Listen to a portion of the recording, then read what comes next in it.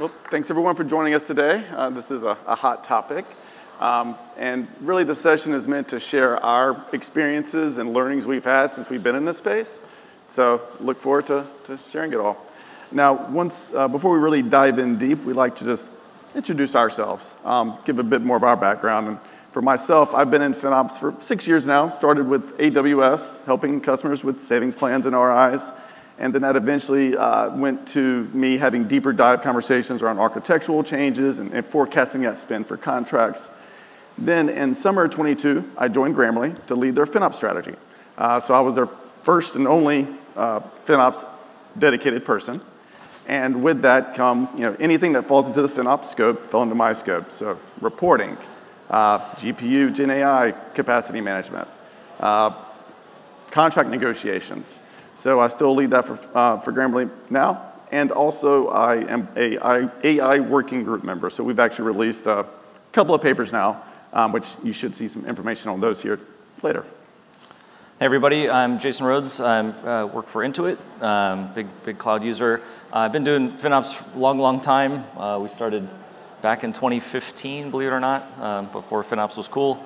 Um, and you know, I like to think that we sort of hit run state or sort of solved most of the big problems that everybody tends to face in FinOps somewhere around 2019. So we've still been iterating and innovating since then, but uh, it's mostly been sort of a solved problem uh, Intuit. But there's still things that, that pop up from time to time, things like Gen AI, that require us to kind of go back to the well and um, dig out the FinOps tool set to, to solve those new things. And I have some strong feelings on, uh, you hear a lot about tokens in the world of Gen AI, which you don't hear about uh, in other sort of cloud things usually, and uh, we'll, we'll talk more about tokens later, but I have some strong feelings on that. Yep, that'll be fun.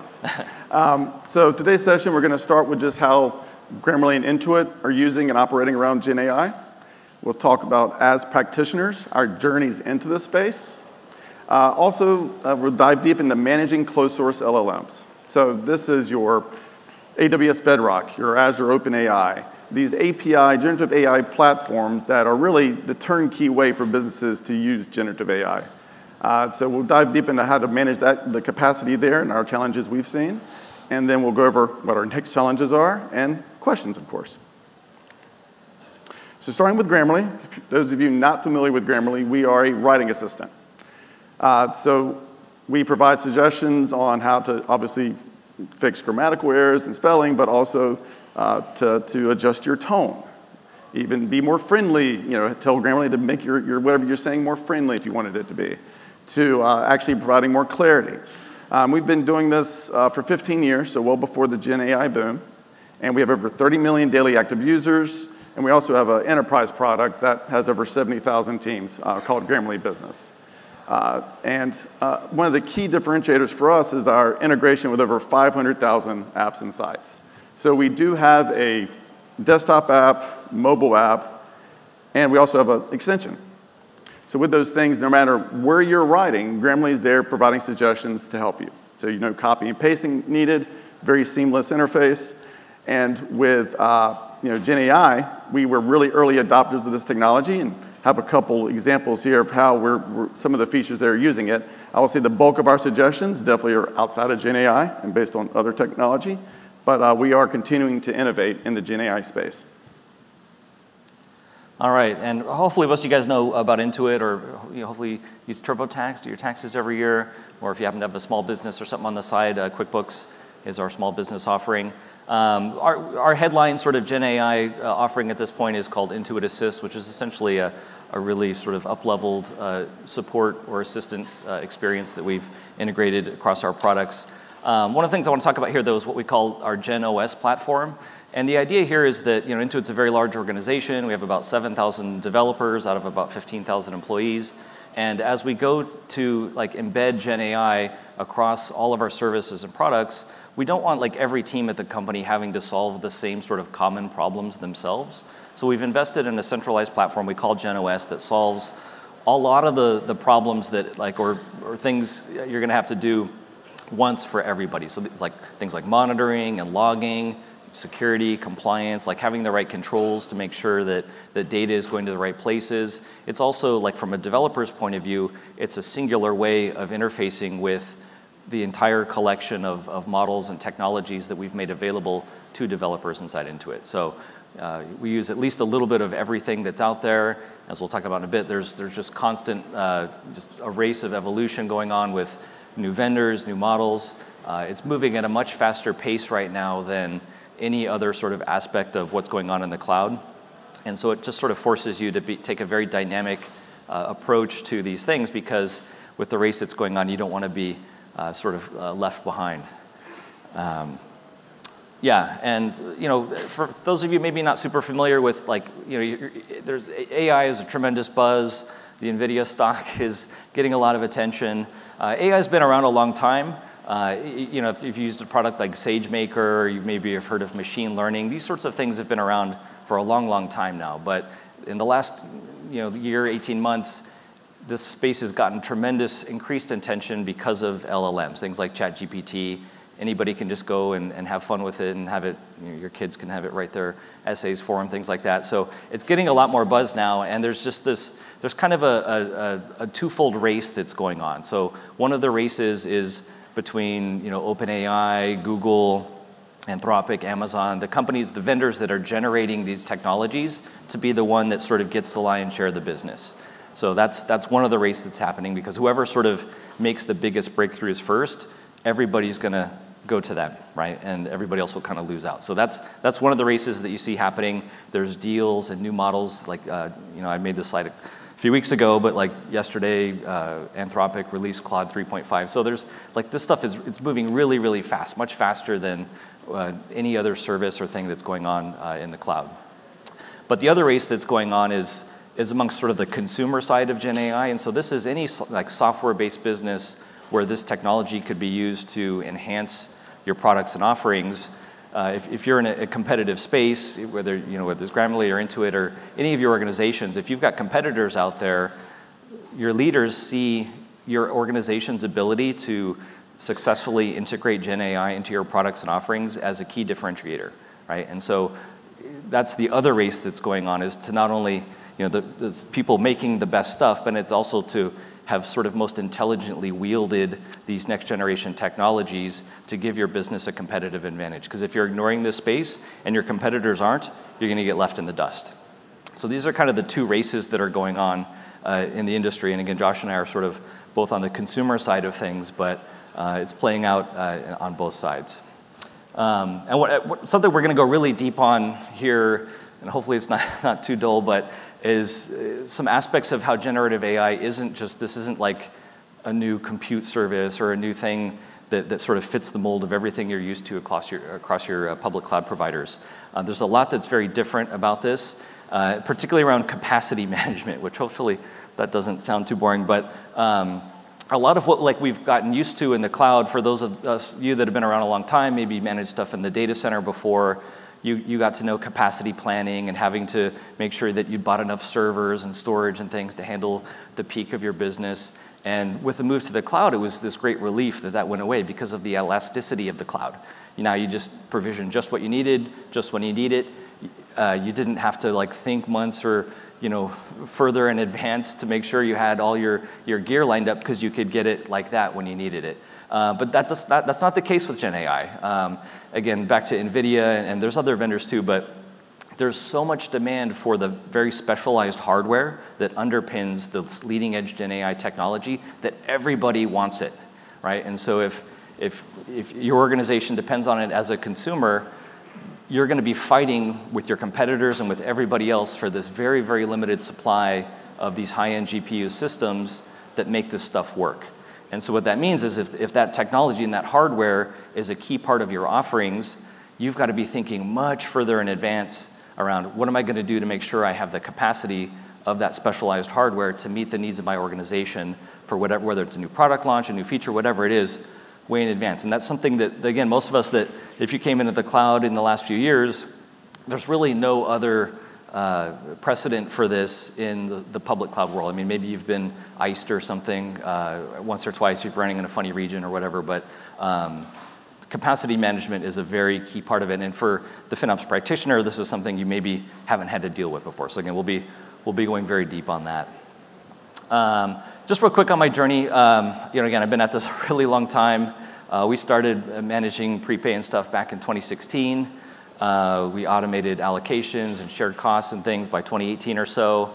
And again, like in 2019, I think, I think we hit run state. So I've uh, been sort of running ever since.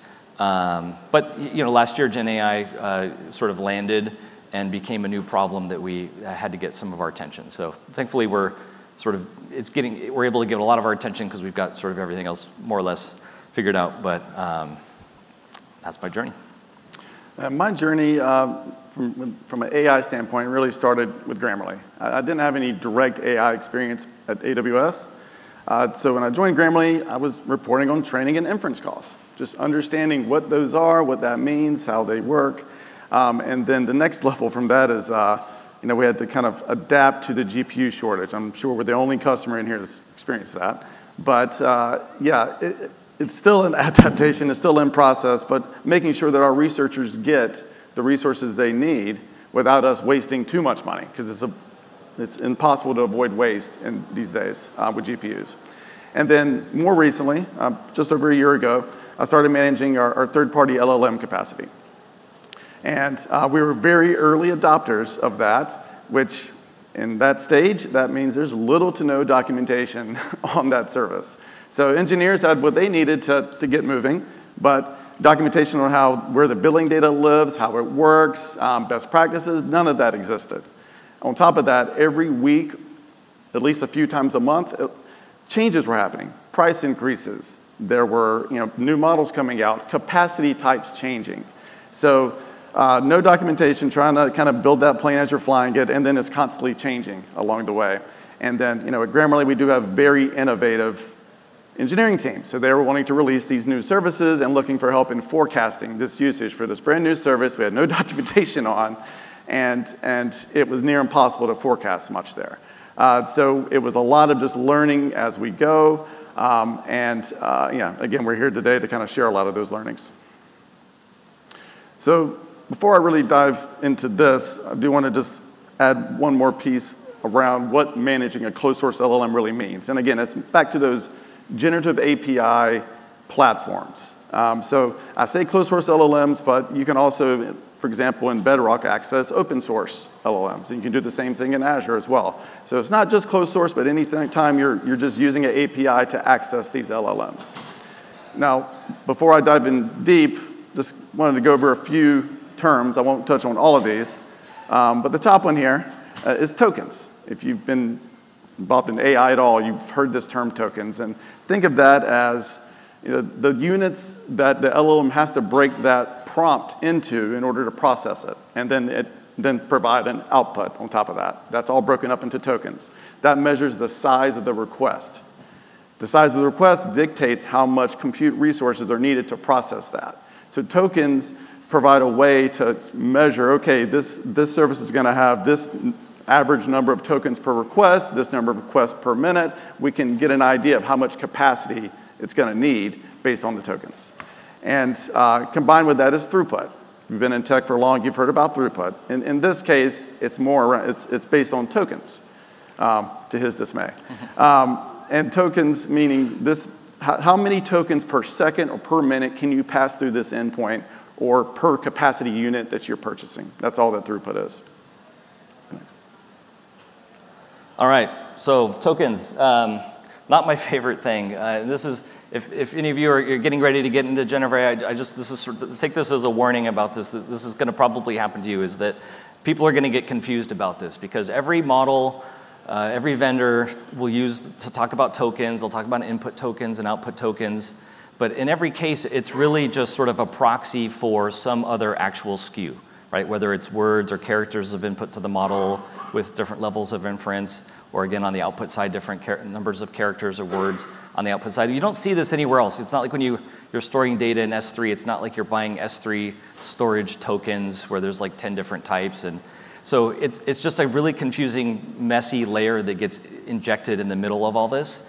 And so you, in FinOps, you guys you hear a lot about unit economics and the ability to sort of you know, map parts of your business to, you know, cost per customer, cost per different thing going on in your business, you sort of have to apply that muscle just out of the box in the Gen AI space to translate your spend on Gen AI you know, into business things because you're not, you're not going to get that in the bill. Like, it's, you're going to see, oh, I paid this much money for this many tokens, but what did that, what did that give me? It, it's giving you words of input or words of output from these different models. And people will get confused. They'll think that because you know, this use case used this many tokens of that model with that vendor, that it's going to use the same number of tokens with some other model. Like everybody around you is going to fumble this. So just you know, help them not do that uh, by being wary of tokens uh, so that those things don't happen to you. The second thing too, I think that's important. I use I don't know if anybody's played Fortnite here or has kids who do, but you know, there's a reason that like every mobile app and and game with microtransactions and things, especially the ones geared at kids, they always use virtual currencies, is because it psychologically divorces you from the fact that what you're doing costs money, right? And so, oh, I'm not spending money. I just, you know, I use some tokens, right? Like those are those don't. So, like, th- there's a real risk here that that your engineers, again, like back to Werner, you know, every engineering decision is a purchasing decision. The the fact that there's this abstraction layer here in generative AI means that people are, are it's going to have a, everybody's going to have a much harder time translating the, the choices that they're making into real economic terms. And so this is like you're going to have to try really hard where you are to uh, help make sure that that isn't happening, that everybody understands the economic implications of the choices that they're making, uh, so that they realize that it's real money. And I, I, hope to see, I mean, for anybody, any Gen AI vendor that's out there, please just stop with the tokens. Just express your costs in terms of, you know, just stop with it.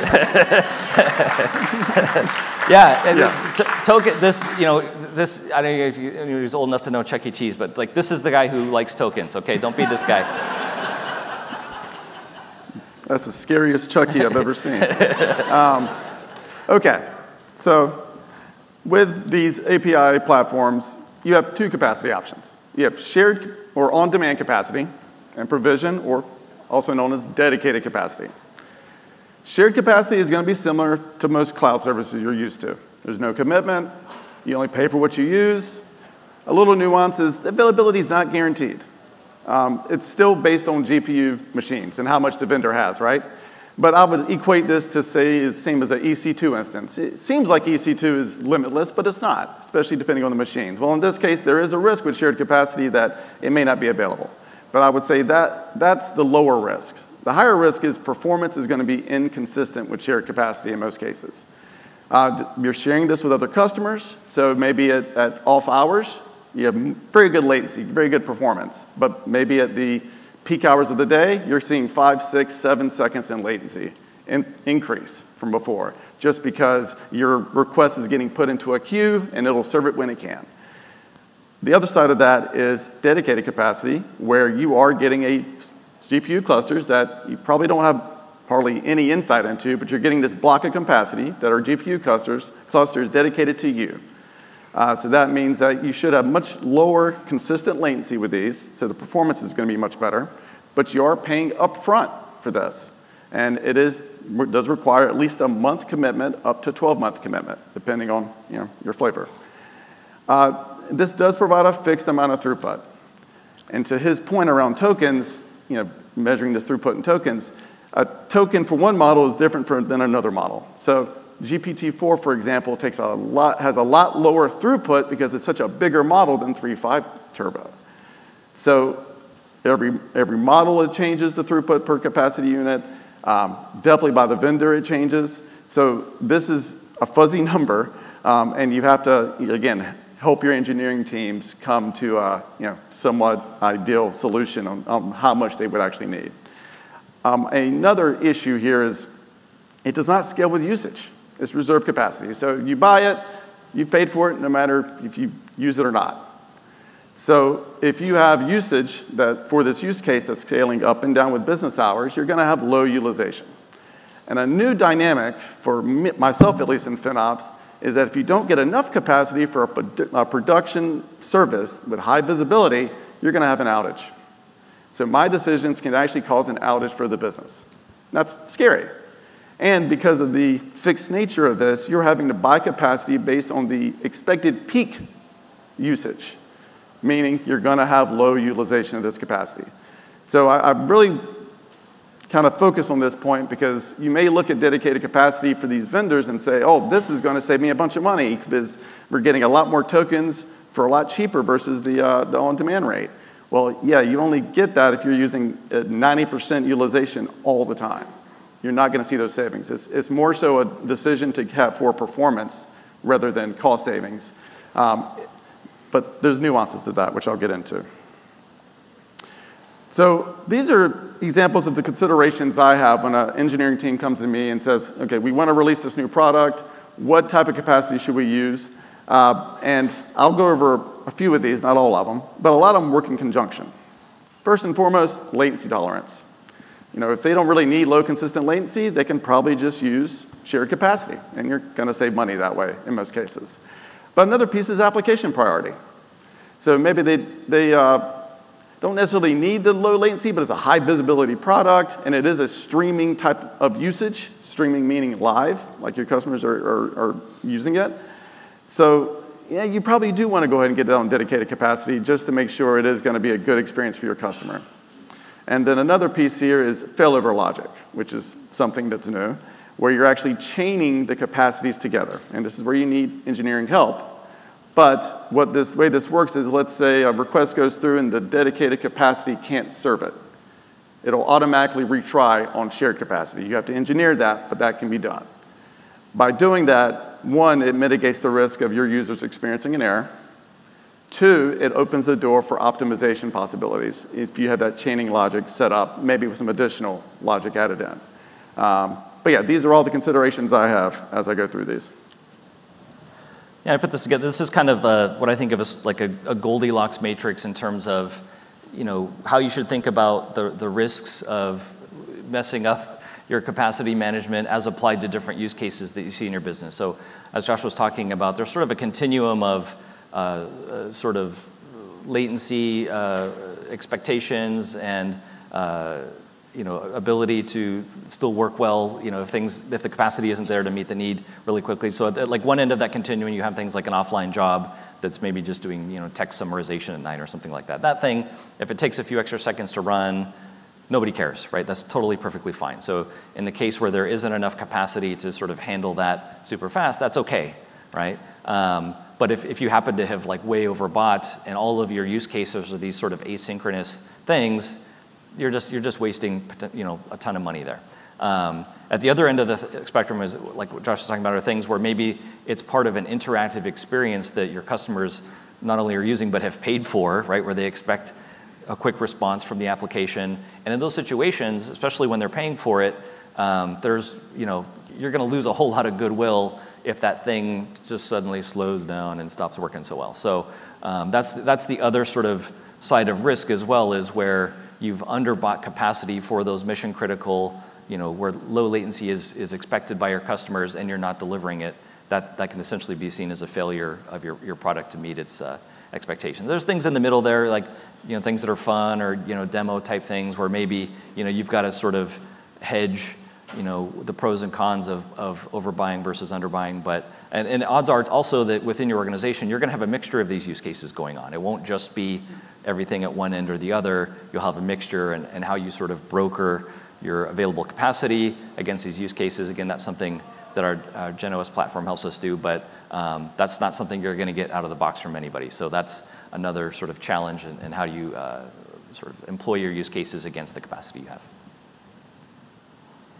All right, so there's a few scenarios I want to go through and different ways to manage this capacity. First one, I just refer to it as managing it like a data center. And this is, as you would expect, the most expensive way to do it, but it ensures um, highly performing applications. So in this, this uh, scenario, you have an application that requires you know, low consistent latency. It's business critical. You do have failover to shared capacity implemented, but you want to minimize it. So in this case, because capacity can take days to weeks to get more of it when you need it, you target peak utilization to be 75%. That could look like, okay, for 70, our, our usage hits 75% at peak three times, you know, or three consecutive days, and we know it's going to continue to grow next month because of a launch, we should probably go ahead and get some, ask for some more capacity. Um, so in this scenario, uh, this graph, now The yellow represents utilization percentage of the provision capacity. And again, this scenario, we're assuming that we have enough capacity to serve all the, the production traffic. The blue line represents the uh, cumulative costs over the 30-day time frame of the provision capacity. And then the red represents the cumulative cost if all of that usage is on shared capacity instead. And then the green represents what I call the premium you would be paying for provision capacity um, in this case, or the delta between the two. So in the beginning, you see that you know, it's peaking at 75, almost 80% utilization, and costs are remaining pretty even until the weekend. And then you see shared capacity get cheaper. Cumulative, cumulative cost is already getting cheaper there. Get into the middle of the period, even when the utilization is still going beyond 55% um, utilization, uh, the premium is still growing. So that's still not the break-even mark for utilization as far as from a, a cost standpoint. And then at the end of the period, finally, when it's consistently hitting 68% utilization, then it's, it's staying pretty flat. That delta is not growing. So this tells me the break-even point in this scenario is about 70% utilization. The issue, though, is by running everything on dedicated capacity, in this usage patterns at least, Provision capacity costs 33% more than shared. So this is an example of it is not a way to reduce costs. It is meant for getting performance, the best performance for whatever you're using it for. Now, the next scenario, let's say you're, you're, flex, you're a bit more flexible with your performance needs. You're okay with up to 30% of your requests at peak times failing over to shared capacity. Now, most traffic still needs to have low consistent latency, and it is business critical but you add in some logic to actually throttle certain services. Uh, because even when you're shared, you know, scaling over or failing over to shared capacity, it's not limitless. So you still need to probably have some, some logic to say, okay, this application we use internally, let's start throttling that when we start you know, going beyond a certain point. So this scenario, same graph, we have less dedicated capacity here, so the utilization percentages are higher for the yellow. And the green is actually representing the blended cumulative cost between the two. So this is what you've already paid for with the provision capacity, that cumulative cost. And then when you do use shared capacity, the cost for the shared capacity as well.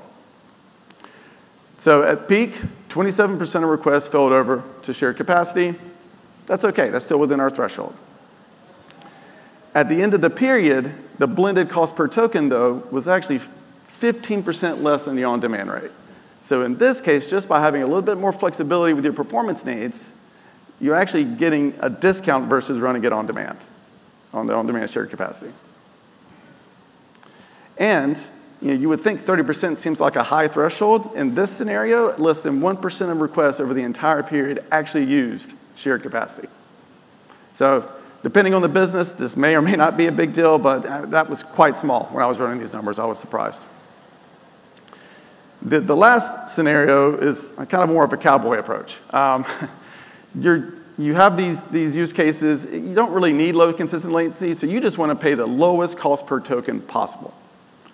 Uh, you still have some throttling logic there just because, again, shared capacity isn't limitless. You need to add a quota if, if you hit certain points. You want to be able to throttle um, when you need to. So same numbers as, or same graph as before, uh, the lines represent the same thing. We have even less dedicated capacity here. So at peak, 90% of requests did fill over to shared capacity. So this is cowboying it. that's, that's quite a bit.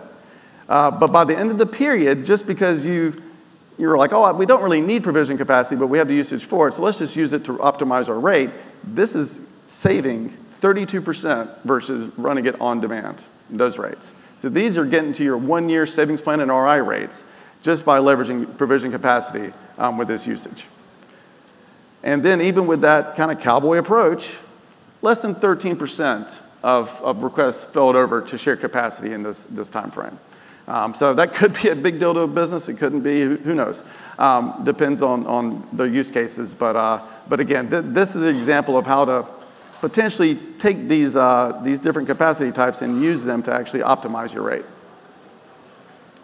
Now, you may look at this and say, Josh, you know, show me these graphs. Like, how do I know I'm doing this right? Or how do I know that um, I'm looking at, the, looking at this the right way when I'm evaluating this capacity? Uh, first and foremost, understand what triggers the insufficient capacity error with whatever capacity you're, using. Some of it, some, some capacity types, some, some vendors, it's pure resource utilization. Uh, but that's a soft limit. Uh, there's a lot of variables that can make that lower or higher, um, and it can change over time depending on the, the, how your new applications that are using the, the, the, the platform. Um, how, you know, I've seen where vendors have actually made their clusters more efficient, so our throughput increased there. So lots of, lots of variables there that can kind of change that. Uh, the next one is actually there's a capacity types out there where the vendor is determining a certain latency limit, and once you hit that, it's going to trigger the error. So understanding that is key. Um, and then there are other vendors that just have hard token limits. Maximum amount of input, maximum amount of output tokens, much easier to manage, um, but uh, th those are the three types I've seen. Now, once you understand that, you can set KPIs. I can imagine utilization percentage not being one of those, but also if you do have a, a kind of a tolerance for sharing, uh, failing over to shared capacity for these production services, you could have a, you know, maybe that's 10 or 15%, maybe not 30, but you could have that as another KPI. Or your own latency limits. Maybe there are certain services that, that you want low latency and you want to kind of buy capacity according to that. And other services, it's not important. But one of the biggest takeaways I've had over my time doing this is uh, you want to load test this capacity periodically. It's not do it one time and think it's going to be set that way. I've, I've seen throughput change in less than a year by 50%, increase by 50%. So if you're not load testing these endpoints weekly or at least quarterly, you're not going to know that and you're going to continue to buy capacity at too high of a level. This is also a great way to find out if your clusters are healthy before you launch in production. Um, because you know, these, again, are just a bunch of machines put together, and it's, it's very likely that, well, not very, but it does happen that you get a cluster and you start using it and it's not as performant as it's supposed, as, as it's supposed to be and the vendor has to fix something, right? But if you're load testing, you're going to catch that much earlier um, and, and uh, be on top of it. Yeah, that's a good point, Josh. Just real quick, too. I mean, um, back to sort of the gold rush is that, that vendors are moving as fast as they can to be leaders in this space. And so a lot of the sort of like regimented process that surrounds like a traditional launch of services at these major cloud vendors or you know these startups that never had those, those aren't necessarily going to be in place. So there's a lot of like extra caution you need to take as a FinOps person to uh, keep your company from getting caught off guard as, as things are changing constantly. Um, just real quick on forecasting for capacity, some experiences we've had.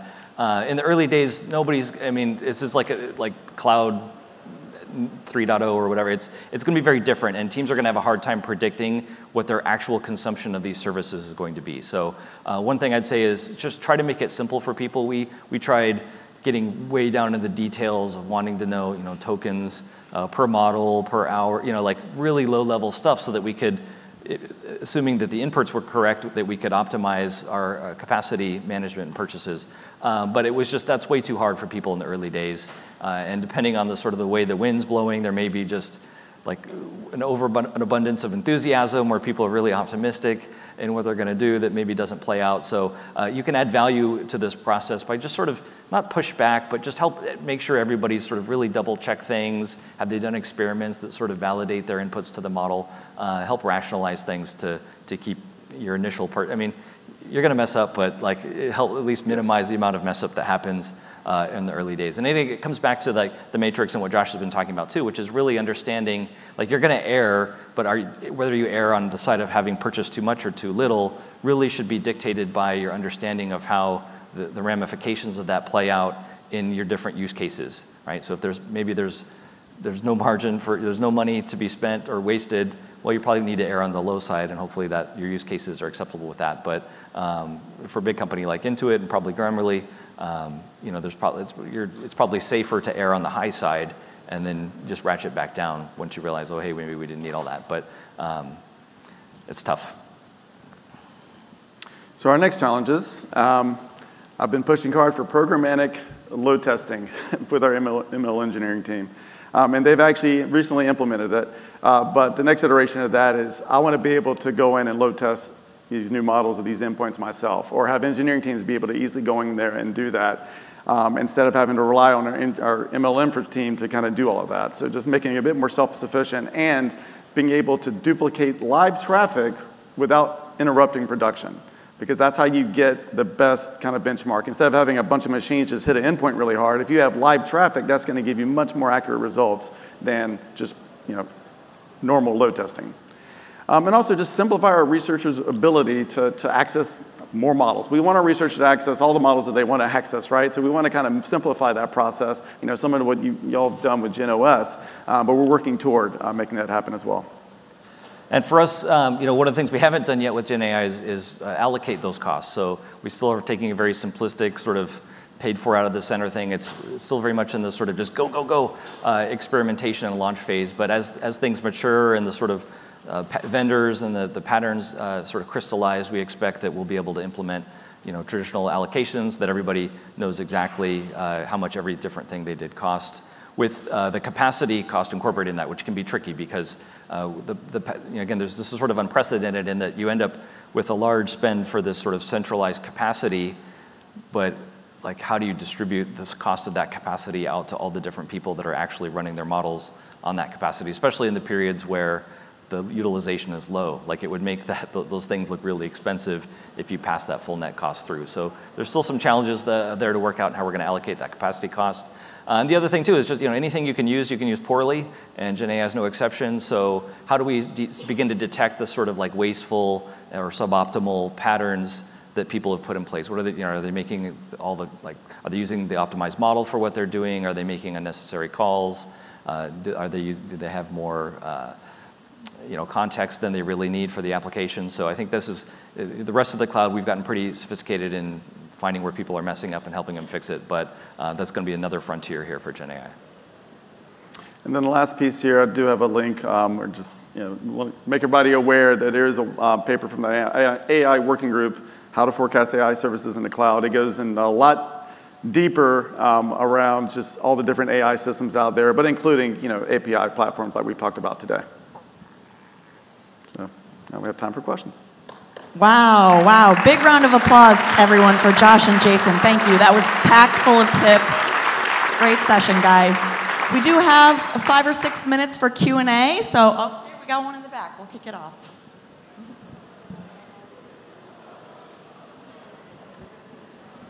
Hi, thank you for that. What did you use for the measurements, the utilization measurements? Um, was that an in-house or, like, how did you do that? And how can you tell, part B, um, what workloads are driving the utilization, right? Are you able to separate, or is that just sort of a cumulative or aggregate measurement? Great question. So the measurement is really based on that load test and the accuracy of that load test. Once you know what your maximum is, then that's what you base your utilization on. The next, because you can, the, the vendor does provide the tokens per minute that you are you're pushing through these endpoints. So you can get metrics on that. So again, once you know the max, you can figure out utilization. Um, we also have what we call an LLM proxy um, on our side that is tracking the consumption data by calling service into these LLMs. So that's, a, that's how I take that information. It's a simple of, okay, this service used you know, 35% of this model's capacity, then it gets 35% of those calls. So it's a simple allocation for that right now, but that, that's how we do it. I don't know if it's all you. Okay. Um, so, hi. uh, I realize the, uh, the, the issue with the, the word token, right, kind of struck a chord with everyone in the group. We, we all think it's pretty obscure and, and difficult to understand. But I think there's a lot of other units in the cloud space that also don't make any sense, like gigabyte months, right? Um, like, what, what even is that? So I guess my question would be if, given that it is confusing and that, uh, you know, there at least seems to be some sort of cohesion throughout all the generative models to, to base everything off of tokens.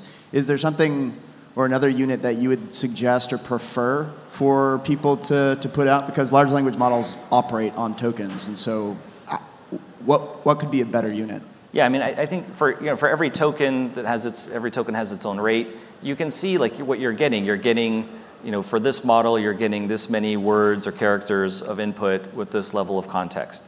And so, like, to me, like, the SKU should just be expressed as, like, words of input with this context, like, as the SKU, right? So the word token doesn't need to be there. So it's like model, words, context, like is what you're getting, sort of like the usage type or something if you've seen the AWS CUR. So like that's what I'd like to see as opposed to token. Another question? Uh, I think I saw one in the back maybe, or, yeah.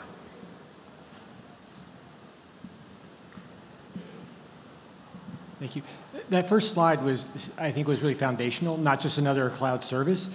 And with generative AI, a bunch of other stakeholders are now kind of swarming in. Like they might have been doing something in a corner and the platform team stood it up and now it's wide open. How do you recommend people kind of socialize this understanding and knowledge, the, the differences, long before you kind of get down to the level of detail you were talking about, just in terms of stakeholder preparation and orientation and, and kind of laying the groundwork for that?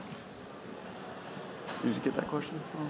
Yeah, I mean, I, I can try to answer. Um, I mean, I, I, it's going to be different everywhere you are. Uh, I can say, with, like within Intuit, we're just very aggressively pursuing AI as a, as a core uh, capability of the business, and we have, we have for some time.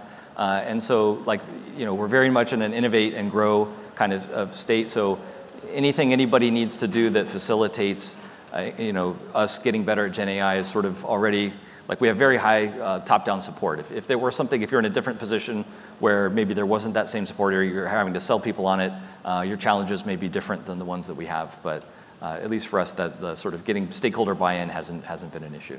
Yeah, I mean, in our case, our you know, again, we're very much in innovate mode, especially in this space. Um, but our, our leadership is looking for, they want to understand where the money's going and why it's going there.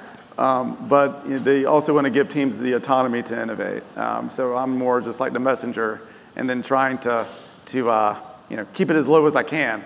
Um, so that, that's our view on it.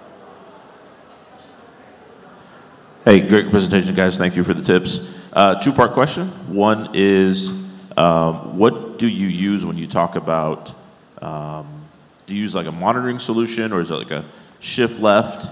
Um, type of thing for engineers uh, to find that wasted those wasted resources? Like, do you have something that alerts and then you take action on it, or is it like, hey, we've implemented best practices so our engineers know not to waste on XYZ uh, data that we get and feedback to the engineering team? And then the second one, uh, I think you mentioned something about LLM proxy. I was just wondering the tech behind what you're talking about, if you don't mind sharing that, and where it fits in your stack when it comes to LLMs and, and AI. Um, yeah, I can't speak as much to the tech of the LLM proxy, um, but it was something our, our ML for team had, had, put together. And I will say, from a FinOps practitioner standpoint, when you're getting involved in managing this, you, you need to have a really good relationship with the team building those things because they built that based on our feedback, right? So that is critical. Um, and the first question escaped me. I'm sorry. What was the? Uh, was about, I think it was about waste. I mean, I mean. Oh, the waste piece. Yeah. Well, yeah. The waste piece so th this is it's a managed service, this capacity. So you have no insight into the, the, the machines themselves, right? So the waste is kind of expected. Now, where we kind of, I, I wouldn't say, I, where we hold teams accountable is get your forecast somewhere close to right. so, so at least give us some kind of heads up, or don't just start hitting these endpoints without running it through FinOps first, so we can uh, make sure we're managing the capacity. So it's, it's less about identifying waste, it's just making sure that we're informed and, and uh, from what they're doing, so we know how to manage that capacity moving forward. So every, every time a new service wants to hit um, the, the, the, production endpoints or they want to run an experiment, they come to me and, and ask, you know, hey, you know, how do we handle this? Um, and I, that is critical. Without that, then, you know, it'd be bad. so. Um, what all data sources do you use for this analysis, right? Capacity planning, cost estimation, and then later allocation. Do you obviously the CUR and all those cost and billing data, and what other data sources do you use? Uh, sure. Uh, so the question was, you know, what data sources do you use to kind of do this analysis? And you know, Google Sheets is part of that for me, unfortunately. But no, uh, you know, the, the vendors are going to have dashboards for you to see active tokens, and then you said the interval, so you can get that. But it's still, you're, you're like I was saying, it's, there's not a lot of. It's kind of like AWS 10 years ago um, when you just didn't have many cost tool, tooling out there and it evolved over time. Well, we're really early days in this type of thing, so they have some tooling out there, but you still have to piecemeal. Okay, I know in my head we have X amount of tokens you know, per minute available, and I see that right now we're at this amount. And then I just do the math from there and calculate it from there, or add that to a SQL query that's calculating that in some report that I'm doing. So the data source is really just uh, you know, the, uh, the proxy that I'm spoken to, and I kind of compare that to what the vendor shows just to make sure I know that's accurate, and then the, the metrics that the vendor provides.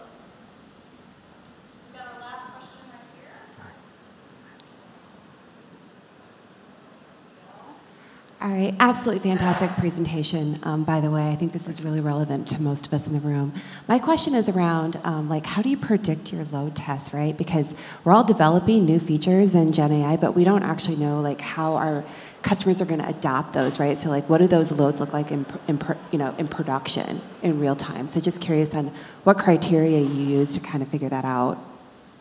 So the teams usually run an experiment, a live experiment before, um, you know officially going GA with it, right? So what that does, maybe it's 1% of traffic or 5% of traffic. So once you, once you kind of throw it out there and do 1 or 5% of the traffic and it's consuming, you know, millions more tokens than you expected, then you know, okay, I need to kind of roll this back and maybe figure out how to make it more, um, more optimal.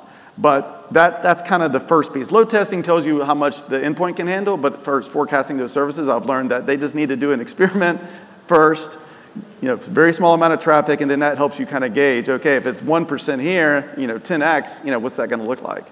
Yeah, or 100x actually.